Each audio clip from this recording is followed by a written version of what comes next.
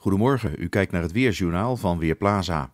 We hebben te maken met veel bewolking boven ons land. Alleen boven Denemarken zien we opklaringen, maar voorlopig trekken die ten noorden van ons land langs. Een spaarzaam gaatje, een spaarzame opklaring zou kunnen vanochtend, maar in het algemeen blijft het bewolkt. Soms is het nevelig en temperatuur ligt in het algemeen net iets boven het vriespunt. Vanmiddag oplopend naar 2 tot 4 graden en nog altijd weinig verandering in het weerbeeld. Over het algemeen blijft het grijs, het blijft droog en we hebben een matige oost- tot noordoostenwind. Voor vanavond geldt eigenlijk hetzelfde verhaal. Wolken houden de overhand, soms een enkele opklaring, temperaturen langzaam dalen tot net iets onder het vriespunt en veel lager zal het vannacht niet worden.